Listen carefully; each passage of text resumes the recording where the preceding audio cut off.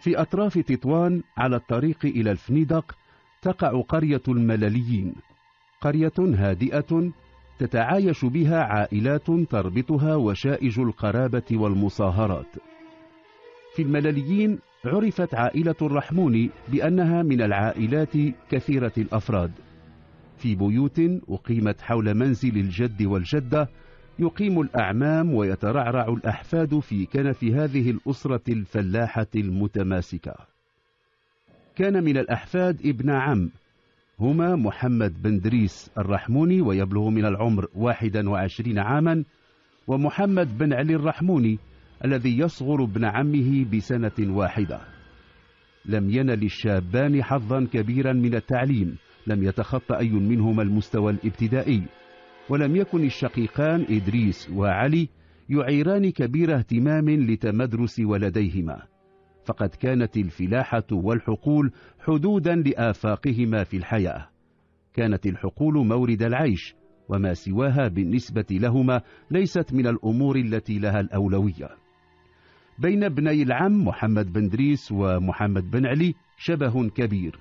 في الحقيقة لم يستغربه أي من أفراد العائلة. كثيرون يظنون أن الشابين توأمان ولكن الفارق كان كبيرا في المزاج والسلوك. كان محمد بن دريس شجاعا مندفعا ومحبا للمغامرة. وكان ابن عمه محمد بن علي مترددا إلى حد الجبن لا يقدم على أمر حتى يبادر إليه ابن عمه وبشكل من الأشكال حتى يأذن له بالقيام به. كما شبان كثيرين من الملليين بدأ ابن العم يفكران في بناء مستقبل لهما. كانا يريان أن الأعمال الفلاحية التي يدور حولها نشاط عائلتهما لن يمكنهما من تحقيق ما يريدانه. وهكذا دخل محمد بن دريس عالم الاتجار في المخدرات ولم يكن لابن عمه محمد بن علي أن يتخلف. كان محمد بن دريس يسافر إلى المناطق التي عرفت بإنتاج الحشيش يأتي منها بكميات صارت تكبر مرة بعد أخرى. وكان ابن عمه يتولى في مدينة الفنيدق نقل الحشيش إلى نقطة قريبة من السياج الذي يقيمه الاحتلال الإسباني حول مدينة سبتة. من هناك كان أشخاص آخرون يحملون البضاعة إلى داخل المدينة المحتلة ومنها يتولى أفراد آخرون من الشبكة العبور بها إلى جنوب إسبانيا. توسع نشاط محمد بن دريس في تهريب الحشيش وتوسعت وتشعبت علاقاته. وبعد بضع سنين صار على رأس شبكة للتهريب ضمنها عدد من الإسبان. كانت تلك التجارة تدر عليه أموالا طائلة. وقد تسنى له أن يشتري محلا تجاريا في سبتة المحتلة وهو ما يسر له الحصول على وثائق الإقامة هناك. أما ابن عمه محمد بن علي فقد ظل في الفنيدق ينقل الحشيش إلى جانب السياج المحيط بسبتة عند سفح جبل بليونش. كان يتقاضى عمولة عن كل صفقة وهو يرى أن ابن عمه يزداد غنى وثراء يوما بعد آخر. وقد رجى عدة مرات ابن عمه أن يساعده في الحصول على وثائق الإقامة في سبتة المحتلة ولكنه كان يرد بالرفض تارة وبالتسويف أخرى. كان محمد بن دريس يخشى أن يتسبب ابن عمه الذي يعيش في ظله في كشف أسرار تجارته. كان رفض محمد بن دريس إشراك ابن عمه في تجارته وتمكينه من الحصول على وثائق الإقامة في سبتة كفيلا بزرع بذرة حقد بين ابني العم اللذين لم يكن كثيرون في الملاليين وفي خارجها يفرقون بينهما. أسرار كثيرة لمحمد بن دريس لا يعلمها إلا ابن عمه. في نفس وقعت فيها بذرة حقد تصير تلك الأسرار الدفينة غذاء للبذرة الخبيثة. كان الظرف مواتيا ليكبر الحقد بسرعة في نفس محمد بن علي. ففي صيف ذلك العام تقدم محمد بن دريس لخطبة إحدى بنات خاله وأقام عرسا أنفق فيه المال الكثير. في الملاليين لم يستغرب أبناء القرية أن ينفق محمد بن دريس الكثير في حفل زفافه. فهم يعلمون أن تجارته مع شركاء له في سبتة رائجة. جهز محمد بن دريس بيتا لزوجته في حمى بيت والده. بعد أيام تركها وانصرف إلى تجارته. ومع أن كلا منهما يعلم الآن أن علاقته بالآخر لم تعد على ما كانت عليه فقد استمر محمد بن علي في نقل الحشيش إلى بليونش إلى جوار السياج المقام حول سبتة يسلم البضاعة ويعود أدراجه إلى الفنيدق. لم يكن يتخذ احتياطات كبيرة لتجنب الوقوع في قبضة الجمارك المغربية أو الدرك الملكي أو في قبضة الشرطة الإسبانية. وكثيرا ما نبهه ابن عمه محمد بن دريس إلى ذلك. وذات يوم وقع الذي كان يخشاه. ففي ليلة من ليالي أكتوبر من العام 88 تواعد على اللقاء في المكان المعلوم وأن يأتي محمد بن علي بالبضاعة وما أن تسلمها محمد بن دريس حتى فاجأهما رجال الجمارك. تمكن محمد بن دريس من أن يأخذ كيس الحشيش ويتسلق المسالك الوعرة ويدخل إلى سبتة بينما وقع محمد بن علي في قبضة رجال الجمارك. واقتيد إلى مركز الشرطة حيث تم تطبيق مسطرة في حقه وحيل بمقتضاها إلى المحكمة. أخذت بصماته وأدخل السجن. مكث رهن الاعتقال شهرا وتمكن محام الدفاع الذين وكلهم ابن عمه من الحصول على سراحه. وبالرغم من الإفراج عن ابن عمه فإن محمد بن دريس لم يقبل بأن يستأنف العمل معه. كان قد وجد مزودا آخر يحضر له الحشيش إلى أقرب نقطة من سياج سبتة. لفترة ظل محمد بن علي يستقدم الحشيش إلى الفنيدق ويبيعه هناك لمن يرغب فيه. نسي أنه مراقب ولكنه ما لبث أن أدرك حجم الخطر الذي يهدده. طلب المساعدة من ابن عمه رفض أن يستأنف نشاطه معه. صار يخشى من تبعات هفواته وفضل أن يمده ببعض المال. نصحه بالابتعاد عن تجارة المخدرات غير أن محمد بن علي لم يقبل. كان يرى مداخيل ابن عمه تزداد يوما بعد آخر وكان يعتبر أنه يقف في طريقه إلى الرفاهية. بعث إليه برسالة حذره من عواقب التخلي عنه ذكره بأنه يعلم من أسراره الشيء الكثير. هدد بإبلاغ السلطات المغربية وحتى سلطات سبت المحتلة إن لم يساعده قال إنه حتى الآن لم يبح بأي من الأسرار. أحس محمد بن دريس بالخطر وسعى إلى اللقاء بابن عمه. اتفقا على اللقاء ذات ليلة عند أسفل بليونش ليبحث الأمر بعمق. كانت ليلة غاب عنها القمر. كان يسمعان أمواج البحر تلقي بنفسها إلى الشاطئ. التقى الرجلان وظل لساعة يتجاذبان الحديث حول خلافاتهما في تلك الليلة لم يبد محمد بن دريس لينا ولا تساهلا. كان متمسكا بموقفه. عرض على ابن عمه مالا يتاجر به في غير تهريب المخدرات. كان ابن العم يرفض وبإصرار. احتدت لهجة التخاطب بينهما. ثارت أعصابهما. أخرج محمد بن علي سكينا وطعن ابن عمه على مستوى الصدر. جحظت عيناه وتهاوى على الأرض. لم يلبث أن مات. كان في الجانب الآخر من السياج. فكر محمد بن علي في الهرب. كان ابن عمه جثة بلا حراك. في الجانب التابع لسبتة المحتلة. تزاحمت الأفكار في رأسه. مد يده إلى جيب ابن عمه أخذ أوراق هويته وبطاقة إقامته في سبتة ودس فيه أوراق هويته هو وفيها بطاقة تعريفه الوطنية ثم أسرع هاربا إلى المدينة. بعد ساعة مرت من هناك دورية للحرس المدني الإسباني عثرت على الجثة اكتشفت وثائق الهوية المغربية لمحمد بن علي. كانت الجثة على بعد أمتار من السياج. قام رجال الدورية بجر الجثة ودفعها وراء السياج. مع ساعات الفجر الأولى اكتشف رجال الدرك الملكي الجثة. تقول وثائق الهوية التي عثر عليها إنها لمحمد بن علي كان واضحا أن الرجل قتل في الجانب الآخر من السياج. آثار جر الجثة كانت واضحة. سجلات الشرطة في الفنيدق تذكر التاجر المخدرات محمد بن علي. سلمت الجثة لعائلته وتم دفنها. في الملليين قرب تطوان دفنت عائلة الرحموني ابنها وحفيدها محمد بن علي بينما انقطعت عليها أخبار ابنها الآخر محمد بن دريس. كانت زوجة محمد بن دريس قد أنجبت طفلا في العام 91 900 وألف.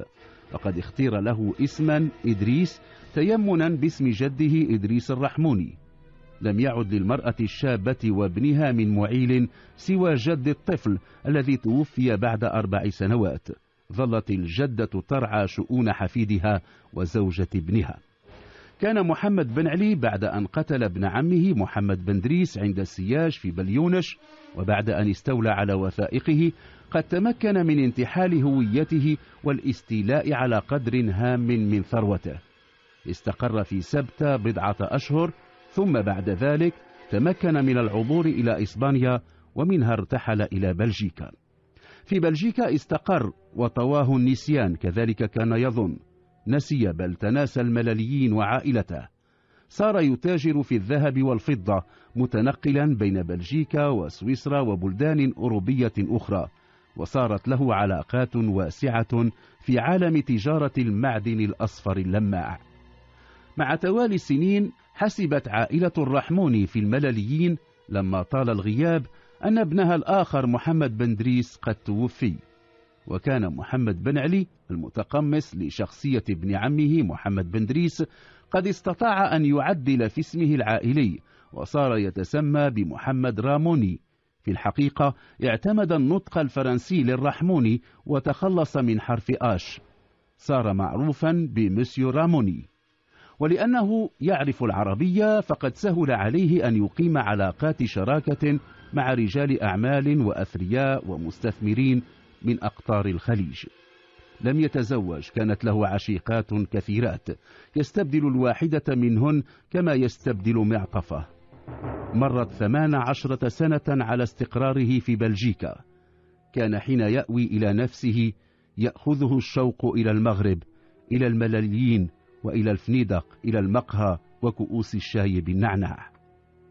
ارتبط المسيو راموني رجل الأعمال البلجيكي بمستثمرين خارجيين وأبرم معهم اتفاقا استثماريا كبيرا لبناء منشآت سياحية في أجدير كانت له نسبة 60% من ذلك المشروع الذي يشاركه فيه رجال أعمال كويتيون.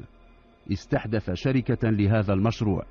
ومع تقدم الأشغال صار لزاما عليه أن يزور المغرب ويتفقد الأوراش.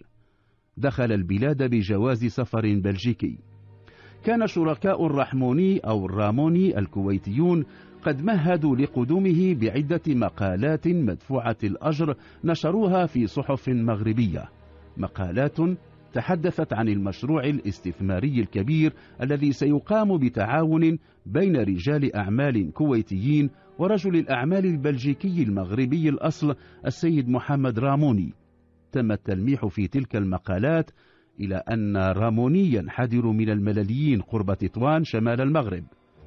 ذاع الخبر في الفنيدق وتناهت أصداؤه إلى الملليين. كان إدريس بن محمد بن إدريس الرحموني شابا في العشرين من العمر. استرعى انتباهه ذاك الشبه بين اسم أبيه محمد الرحموني واسم المستثمر البلجيكي المغربي الأصل محمد راموني. كان الشاب قد ترعرع في بيت غاب فيه الأب اختفى لأسباب وفي ظروف غير معلومة. علم أن الرجل مستقر بأجادير للسهر على إنجاز المشروع الاستثماري. قرر الفتى الذهاب إلى أجادير والسعي إلى الاقتراب من الرجل. حالفه الحظ وتم قبوله ضمن عمال البناء في الشركة التي يملكها السيد راموني. كان إدريس بن محمد بن دريس يتحين الفرصة للاقتراب من الرجل. قبل أن يتوجه إلى أجدير كانت والدته قد تحدثت له عن علامات مميزة يحملها والده ومنها خال كبير وراء أذنه اليسرى. وأن ابن عم والده محمد بن علي كان يعاني من عرج بسبب حادثة تعرض لها في الصغر وكان يضطر إلى انتعال حذاءين غير متساويين في علو الكعب. قالت له أمه إنها حصلت على تلك المعلومات من العجوز التي كانت ما تزال على قيد الحياة تكتوي بنار مقتل ابنها محمد بن علي. قيل لها إنه قتل برصاص الحرس المدني الإسباني وصدقت. منذ الأيام الأولى لتشغيله كان الشاب إدريس يريد الحصول على عمل يجعله قريبا من الإدارة كان يريد أن يرى عن قرب محمد الراموني أن يتحقق من العلامات المميزة. وقد تسنى له أن يعمل قريبا من الإدارة إذ أوكلت إليه مهمة تنظيف دورة المياه. وذات يوم أتيحت له فرصة من ذهب. كان السيد راموني سيتفقد المنشآت التي توجد في طور التشييد وكان عليه أن يتقيد بقواعد السلامة وأن يعتمر خوذة وينتعل حذاءين خاصين بالورش. اقترب منه إدريس وعرض عليه أن يساعده في انتعال الحذاءين. تسلم منه حذاءيه وبتلقائية فحص الأيسر منها. كان كعبه أعلى من كعب الحذاء الأيمن. ذهل إدريس لما اكتشفه. لقد أيقن الآن أن الشخص الذي يعمل عنده ليس سوى ابن عم والده محمد بن علي الرحموني. كانت معايناته السابقة قد أثبتت له أن الرجل لا يحمل خالا وراء أذنه. وجد إدريس نفسه الآن مقبلا على معركة أخرى. أن يقوم بمساعي تثبت أن الرجل الذي دفن في الملليين قبل عقدين من الزمن لم يكن سوى والده. عاد إدريس إلى القرية وكان قريب له قد فاز في الانتخابات البرلمانية. طرق بابه يطلب مساعدته في التحقق من هوية الرجل المدعو باسم محمد الراموني لأنه أيقن الآن بأن الذي دفن هو محمد بن دريس الرحموني وأن محمد بن علي الرحموني انتحل شخصيته واستحوذ على أمواله وصار رجل الأعمال البلجيكي المغربي الأصل محمد راموني. إرضاء للشاب وجدته وبالرغم من أنه لم يصدق الحكاية فإنه رافق إدريس إلى مكتب الوكيل العام للملك الذي أصغى لما قاله الشاب ووافق على نبش القبر واستخراج عينة من الرفاة يتم إخضاعها للفحص الجيني ومقارنتها مع جينات الشاب إدريس. القضية صارت ضمن نطاق مدة التقادم التي صارت خمسة عشر عاما منذ العام أحد عشر وألفين. أثبت الفحص الجيني أن إدريس هو ابن صاحب الرفاة أي محمد بن دريس الرحموني. صارت الشكوك تحوم حول محمد بن علي المسيو راموني وتضاءلت فرضية مقتل محمد بن دريس على يد الحرس المدني الإسباني وتوجهت أصابع الاتهام إلى المسيو راموني. وللتأكد من أن المدعو محمد راموني ليس هو محمد بن دريس الرحموني فقد وجه الوكيل العام ملتمسا إلى قاضي التحقيق لدى محكمة الاستئناف بتطوان يطالب فيه بإجراء بحث عبر إنابة قضائية دولية توجه إلى بلجيكا للاطلاع على الوثائق التي قدمها المغربي محمد الرحموني للحصول على الإقامة في بلجيكا ثم على الجنسية البلجيكية. جاء رد السلطات البلجيكية مؤكدا أن المواطن البلجيكي محمد الراموني هو المغربي الأصل محمد بن دريس الرحموني المزداد بقرية الملليين بإقليم تطوان في المغرب. صار الأمر يملي الآن تكليف الشرطة القضائية في أكادير بإخضاع محمد الراموني لعملية رفع البصمات ومقارنتها بعد ذلك بالبصمات الموجودة في الجذاذة الخاصة بتاجر المخدرات محمد بن علي الرحموني الذي سبق أن اعتقل في الفنيدق. جاءت البصمات متطابقة تماما ولم يعد هناك من شك في أن المسيو راموني إنما هو محمد بن علي الرحموني. ألقي القبض على الرجل ونقل إلى تطوان حيث مثل أمام المحكمة الاستئنافية بتهمة قتل ابن عمه وانتحال هويته. خصت الصحف الحدث بتغطية مستفيضة. ولم يتمكن فريق الدفاع الذي فاوض النيابة العامة ثم عائلة محمد بن دريس من التوصل إلى اتفاق ينهي المتابعة لقاء تخلي المتهم عن جزء كبير من ممتلكاته لفائدة ذوي الحقوق. ولكن عائلة محمد بن دريس وافقت في نهاية الأمر. سيذكر محمد بن علي مسيو راموني أن من حسنات هذه المتابعة أنها مكنته وللمرة الأولى منذ عشرين عاما من معانقة والدته. مثل محمد بن علي أمام قاضي التحقيق واعترف بكل شيء بكل ما حدث في تلك الليلة عند سياج سبتة المحتلة. قال إنه لم يكن يريد أن يقتل ابن عمه. بعد توثيق الاتفاق الذي تم التوصل إليه بين محمد بن علي وورثة ابن عمه محمد بن دريس وافقت النيابة العامة على إغلاق الملف لتقادم جريمة الضرب والجرح المفضيان إلى الموت بدون نية إحداثه.